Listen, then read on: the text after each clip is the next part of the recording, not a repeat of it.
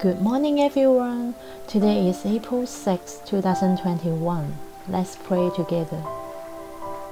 Dear Heavenly Father, you are awesome God. You are so good to us. We praise you and we long to see you. Thank you so much for your love and grace.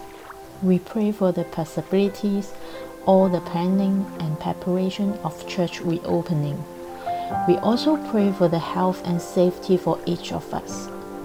As more and more schools, activities, and public reopen, we understand that it's so hard for our children to keep social distance and wear masks all the time. So we pray for your mercy and grace to extra protect our children. Heavenly Father, we especially pray for Peninsula Campus today. Please give us your wisdom so that we can see your vision and calling. Help us to obey you and be courageous. Please teach us which it means for you to be our lives and for us to live our lives for you. Thank you, Father. In Jesus' name we pray. Amen.